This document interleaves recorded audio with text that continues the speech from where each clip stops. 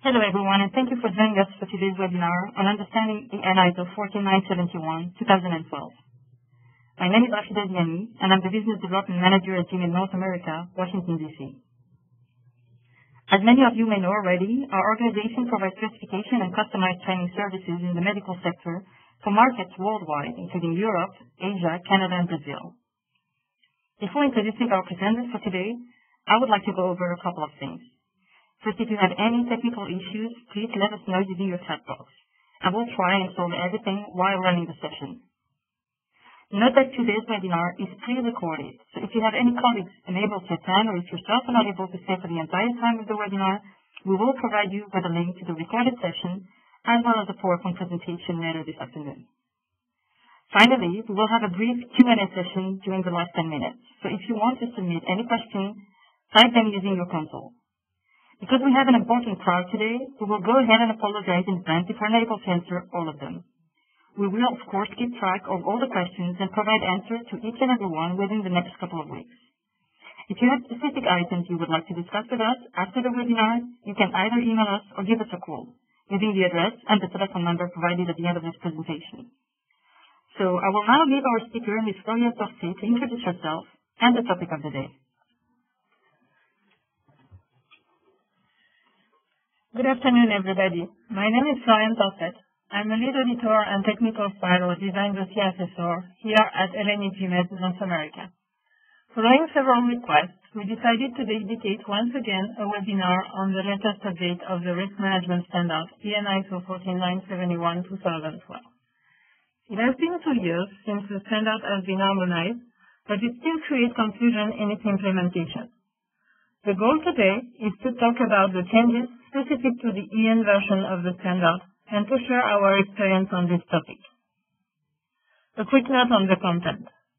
This presentation is not meant to provide you with training on risk management, but rather to provide you with a clear overview of the changes and what their implementation means for medical device manufacturers. As a quick reminder, the body of the standard remains the same between ISO 14971-2007 EN ISO 14971-2009, the previous version of the harmonized standard, and the current EN ISO 14971-2012. Only the informative forward, which includes annexes D, A, B, and C, at the beginning changed to reflect and clarify the standard's relationship to the Medical Device Directive. These changes are mainly a clarification of the relation between the harmonized standard and the directive and they highlight the differences between the two. Keep in mind that the mandatory requirements are the ones of the law, therefore the Medical Device Directive, in opposition to standards which are used as tools to demonstrate compliance to the directive. So now let's get started. The agenda for this webinar is First, we will go quickly through the structure of the standard and highlights of the risk management process. Then, we will go in detail through the informative Annex Z, which is the major change of this revision. We will be focusing on the Annex ZA, which is for the Directive 9342 EEC. But similar provisions are described for the Active Implantable Device Directive and for the In Vitro Diagnostic Device Directive. So let's get started with the structure of EN ISO 14971.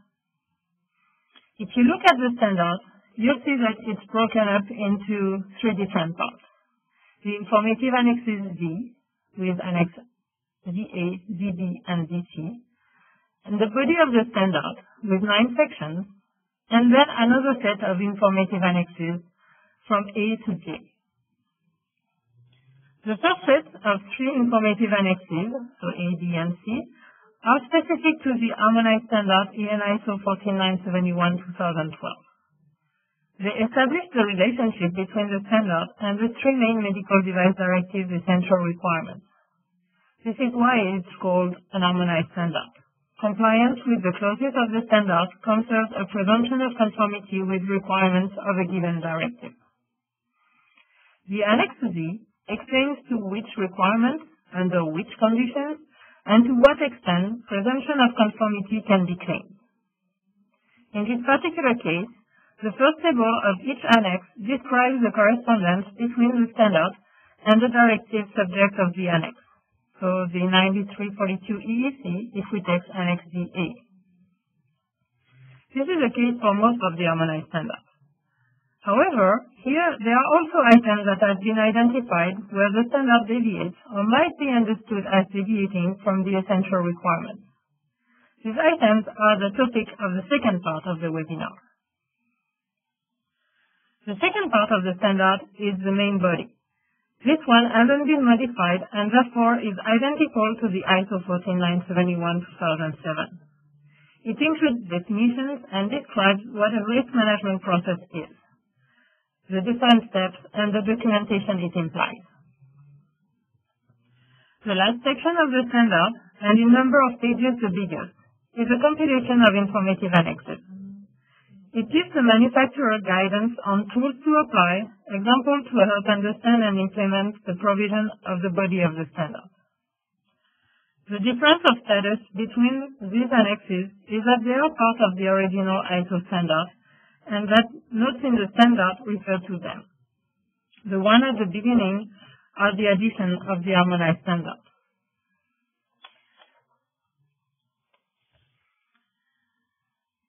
So the next slide here uh, just to summarize the main point of the risk management standard.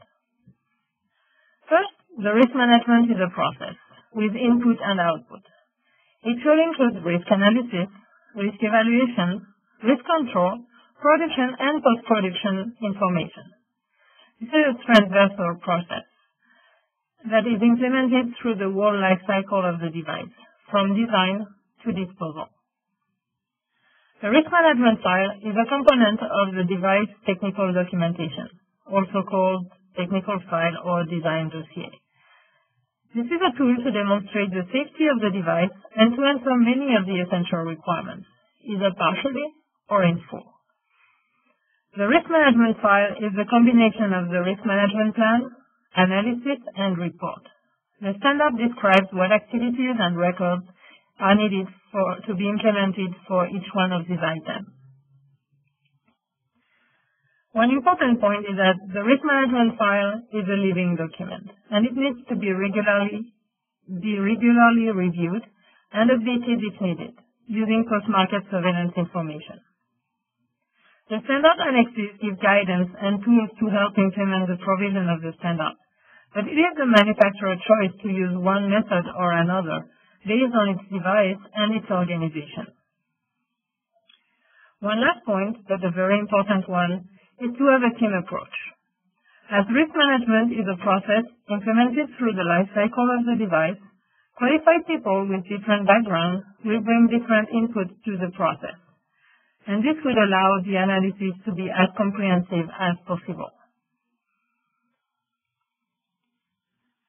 With those major points in mind, Let's jump into what has changed.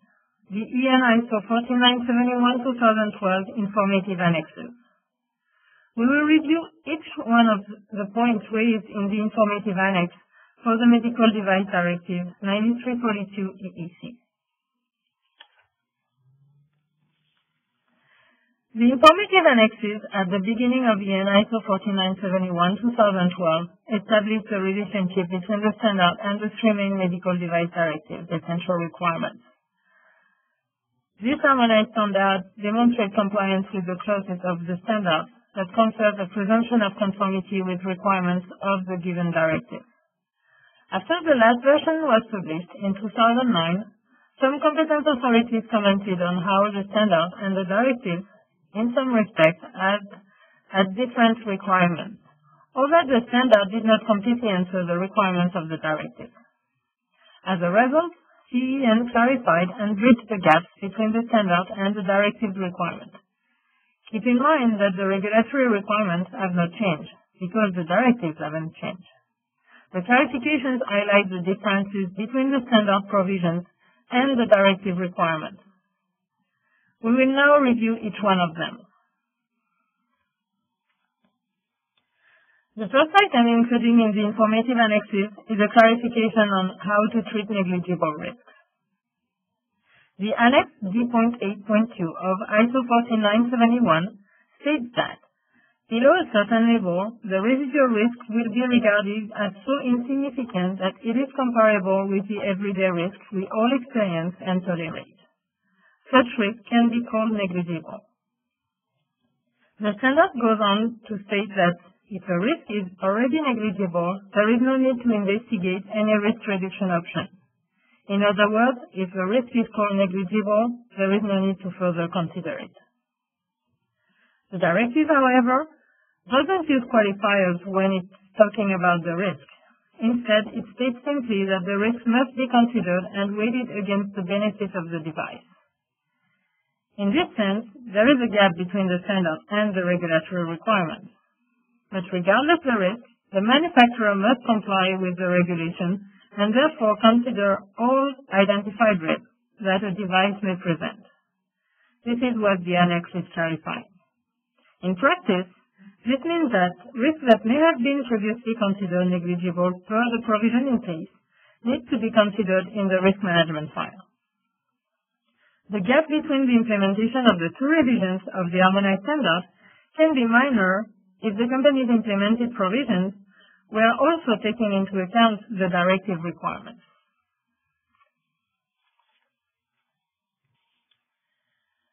The second clarification deals with the manufacturer's discretion in accepting risk.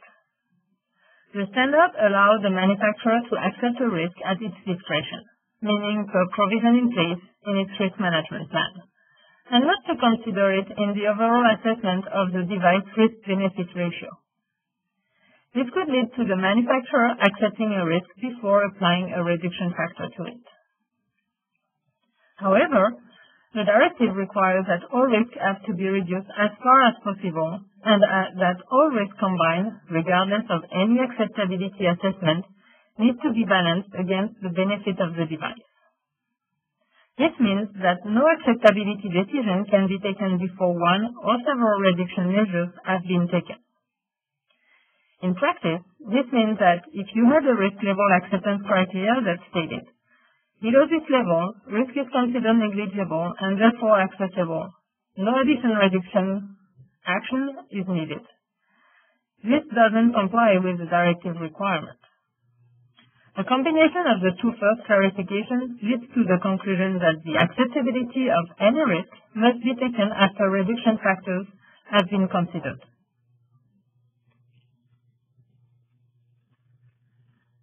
The next clarification is with regard to which degree the risk should be reduced. Both documents use different terminology. As low as reasonably practic practicable for the standard, as far as possible for the directive.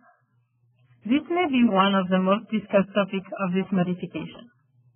The ALARP approach is outlined in Annex D.8 of the standard, which includes the concept of technical and economic practicability.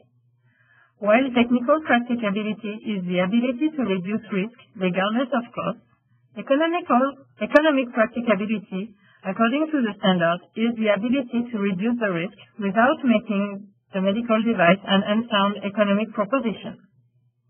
However, the essential requirement of the directive states to reduce risk as far as possible, which doesn't leave room for economic consideration. The device's risk should simply be reduced as low as they are technically able to be reduced. In this sense, the directives don't take into account economic practicability with respect to managing the device's risk in order to put the emphasis on the public health. Medical device manufacturers shouldn't base their risk management on how much it costs, but rather how safe a device they could create.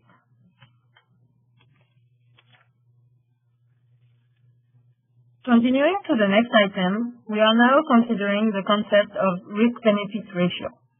Here again, the directive includes more requirements than the standard.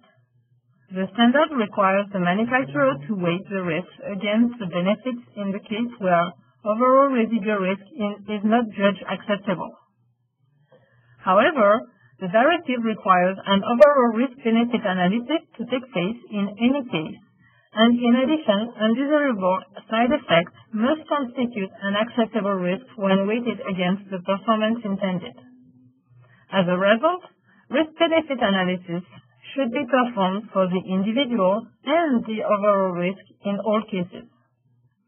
In practice, this means that if you previously were only considering the standard, you were implementing few risk-benefit analysis, mainly when one or the overall risk, overall residual risk was not deemed acceptable.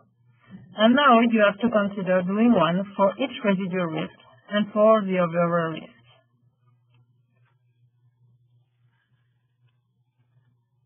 We will now talk about risk control options.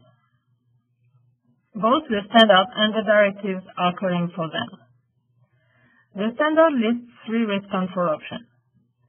First, the inherent safety by design, then protective measures in the medical device itself or in the manufacturing process, and then the information for safety.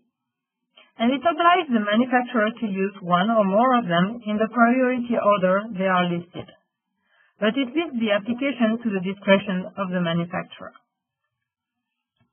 The directive gives similar instructions with a little bit more precision.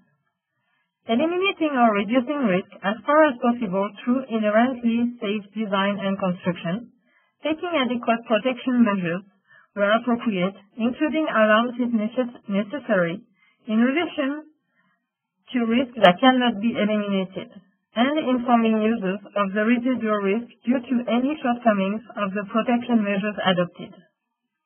However, the directive doesn't give a, a choice. It requires to take into account the state of the art and to select the most appropriate solutions by applying cumulatively the risk control options.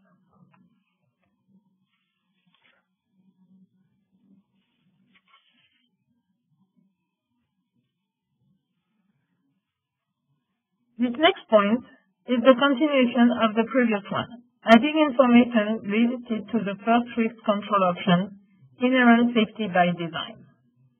Here, the directive gives a little bit more precision regarding this mode of risk control.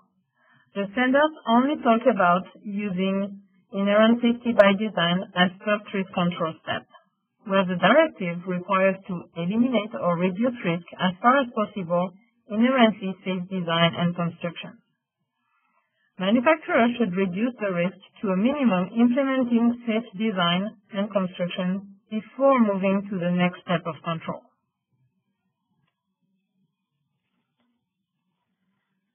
The last point of clarification is related to user information and residual risk. As seen a couple of slides before, the standard includes the information provided to users that detail the safety and risk of the device as a risk control option. In other words, the standard uses this information for safety as a way to control the risk of the device to the user. The directive, on the other hand, doesn't use the information provided to users as a way to reduce the risk of the device. Instead, the information is simply a way to inform users of the residual risk. In this sense, manufacturers shouldn't attribute any risk reduction to the information to users for safety. For example, writing in an IFU or user manual that there may be a risk of allergy or, or irritation doesn't reduce or eliminate the risk itself. This should be done using another method, such as choosing the material. That it gives the end user information about the residual risk.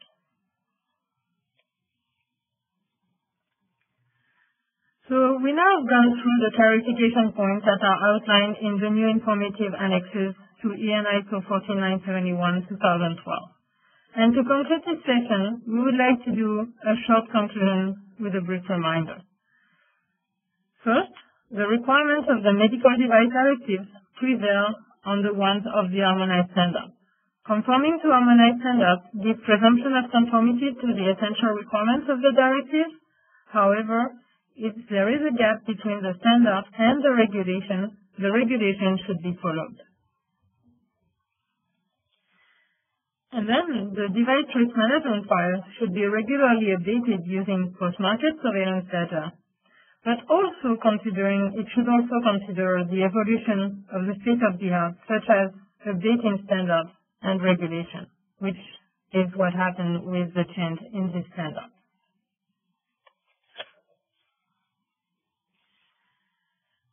And that just about wraps up our webinar on the modification of the harmonized standard EN ISO 14971 2012. Thank you so much for staying tuned and I hope that you found the, the webinar informational.